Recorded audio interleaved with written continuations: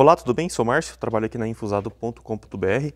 No vídeo de hoje, o objetivo é explicar como trocar essa cabeça de impressão que é compatível com as impressoras matriciais Epson LX300, LX300+, e LX300+2.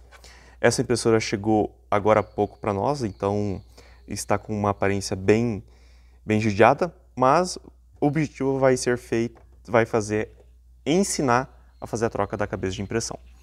Primeira coisa que vocês vão fazer, desligar a impressora, no caso ela já está desligada, o botão que desliga aqui do lado esquerdo. Desligou? Tira da tomada já por segurança, tirou, beleza. Aí o próximo passo é retirar aqui, ó, a fita de impressão. Veja que eu estou pegando aqui com a ponta dos dedos e com o maior cuidado, e aí fazendo movimentos de vai e vem, tirou, fechou. Olha só, bem tranquilo, né? Tiramos aqui a fita de impressão. O próximo passo é destacar aqui o cabo flat. Olha só, eu estou puxando com delicadeza. Aqui em cima tem um, uma abinha de plástico que serve para fixar melhor o cabo, o cabo flat. Estou tirando, olha só, estou tirando, certo? Tirei, só puxando nessa diagonal assim. Aí a gente vem aqui, tira esse parafuso.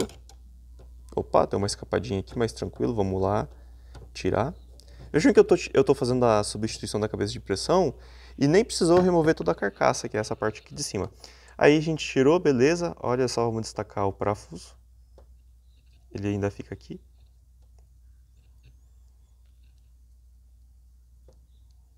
Tirou o parafuso? Já deixa aqui na frente, tá?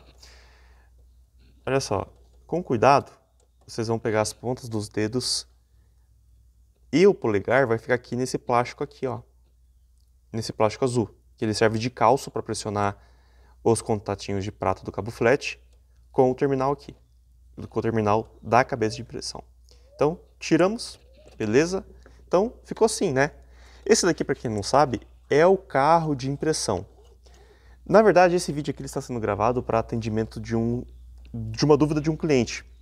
Então, já aproveitando, enquanto o carro aqui está sem a cabeça, passe um óleo de máquina aqui no eixo. Passou aqui, aí passou aqui, ó. E aí vocês ficam fazendo um movimento de vai e vem, tá? Opa, sempre cuidado, né, com a cabeça de impressão.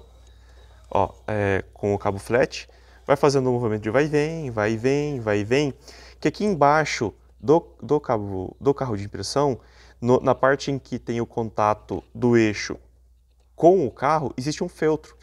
E nesse feltro ele vai, vai acumulando óleo que vai sendo passado no eixo. Isso daqui ajuda a, a impedir aquele, a, a, aquele travamento da fita de impressão aqui no carro, em contato com a cabeça de impressão. E também, às vezes, evita de congestionar o papel. O óleo, repetido, serve para evitar o congestionamento da fita de impressão, que ela vai pressionando aqui, porque o, o motor não vai ter força né, para empurrar um, um carro de impressão travado e aí também evita que a folha fique presa. Outro ponto é esse negócio aqui, ó, essa chapinha de metal. Tá vendo? As agulhas elas têm que passar aqui no meio. Vocês perceberam que eu puxei aqui? Caso esteja torto, vocês retiram para cima, como eu fiz, e esse cantinho aqui, ó, que é mais comprido, ele vai se encaixando aqui, ó, nesse nessa binha aqui do carro de impressão. A mesma coisa vai ser aqui, ó. Ela vai ter que se encaixar Tá vendo, ó, os dois encaixados? Aí vocês empurram para baixo. Beleza? Então agora vamos lá para instalação da cabeça. Feito isso, vocês lembram que a cabeça ela estava assim, certo? Então, tá vendo, ó, contato ela para baixo e o terminal para a esquerda. De novo, ponta dos dedos aqui no calço azul, vocês vão encaixar. Encaixou? Beleza. Lembre-se sempre, repetindo, de conferir os terminaizinhos do cabo flat. Então, vamos lá? Encaixou? Fechou, que legal. Vocês vão fazer agora aqui, ó. Tá vendo esse furo aqui na cabeça de impressão? Nesse plástico aqui do lado direito? Ele vai ter que se encaixar aqui nesse pino do carro de impressão. Aqui no vídeo não vai ficar muito nítido, mas vocês vão perceber ali quando vocês estiverem com a impressora. Então, encaixou, não precisa forçar nada. Olha só, bem ajeitado.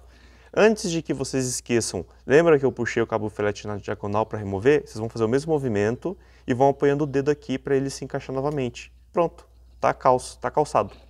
Vamos pegar o parafuso, vamos encaixar aqui, vamos fazer o mesmo processo de forma oposta, parafusando, parafusei, e aí vocês vêm, colocam aqui, olha o furo aqui, tá vendo aqui um pino também?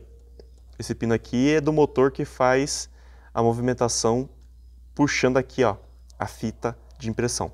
Então vamos encaixar aqui. Aqui também tudo se encaixa bem, bem tranquilo, não precisa forçar nada, não, não forcem para não quebrar. Vocês têm que só encaixar certo, corretamente, né? Vamos ver aqui. Vamos só dar uma mexida. Pronto. Mexi lá para se ajustar os pinos com os furos aqui. Aí, olha só, lembra que eu fiz um movimento de vai e vem, vai e vem para remover a fita? É a mesma coisa. Aqui eu também, ó, vou fazer o vai e vem, entrou. Lembra de sempre deixar a fita reta, certo? Vocês viram que ficou uma folga aqui, aqui, ó? Aí vocês só fazem ajuste aqui. Fez o ajuste, beleza. Último, última dica é, essa alavanca aqui é a alavanca de espessura do papel. Se vocês forem imprimir apenas um papel, vocês podem deixar no zero.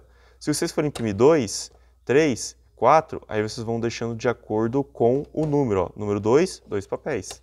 Número 3, três papéis. Número 4, quatro papéis. Um papel, aqui. Às vezes o papel vai ser grosso, vocês podem dar uma folga. Mas às vezes vocês vão pegar um papel fino, aí vocês vão ter que deixar a cabeça encostada aqui com o rolo, press, rolo pressionador. Vocês não vão notar, mas conforme eu vou trazendo para trás, a cabeça ela vai se afastando do rolo presser. Talvez vocês consigam ver, mas olha só, vou trazer para trás a cabeça de impressão. Ela veio milimetricamente para trás. Feito isso, vocês ligam, conectam na tomada, posicionam a folha. Tá vendo aqui? A alavanca eu estou deixando na folha isolada, não estou deixando no papel contínuo. A alavanca do papel isolado é para lá. Aí vou ligar com a impressora.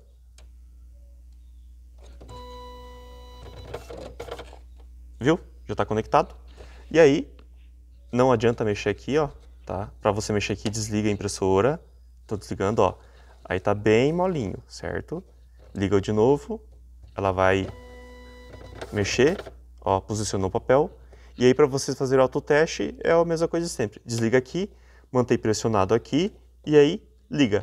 Daí a impressora vai começar a fazer o autoteste. Olha só, soltei agora. Beleza? Dúvidas que tiverem, entre em contato com a gente ali. Muito obrigado pela audiência.